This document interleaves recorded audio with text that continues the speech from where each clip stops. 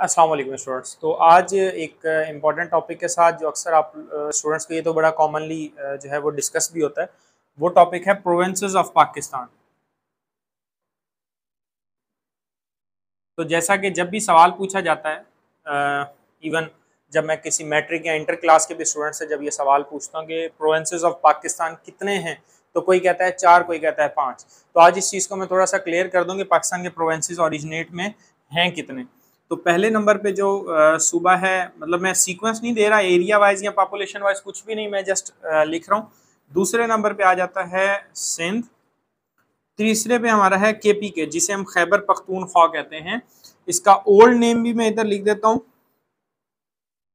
Old name है N W F P north west frontier province और चौथे number पे जो हमारा एरिया है, हमारे पास आता है बलोचिस्तान।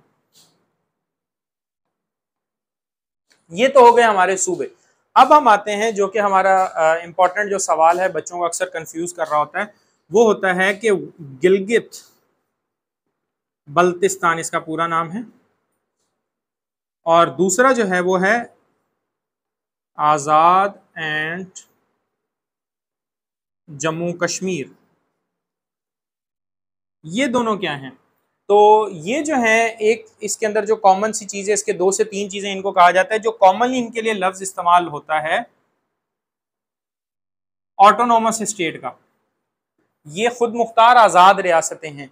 और अगर हम कश्मीर की बात करें, ये जो हमारे पास एरिया कंसीडर किया जाता है, उसे कहा जाता है ए जे के जो इंडिया के पास एरिया है, वो ऑक्यूपाइड कश्मीर में, और आज़ाद कश्मीर को जो है, वो एक और भी लफ्ज़ इसके लिए इस्तेमाल किया जाता है डिस्प्यूटेड एरिया तनाज़े का शिकार।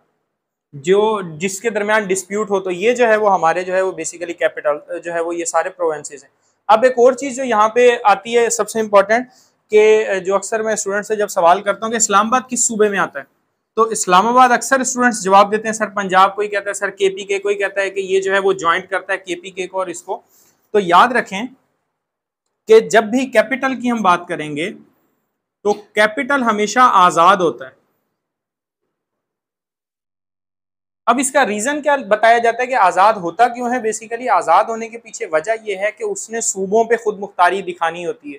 तो अगर वो किसी सूबे के साथ मर्ज हो जाएगा तो वो कभी भी जो है वो ऑटोनोमस नहीं रहेगा। इसलिए पाकिस्तान का जो कैपिटल है, वो इस्लामाबाद वो किसी भी सूबे में नहीं आता।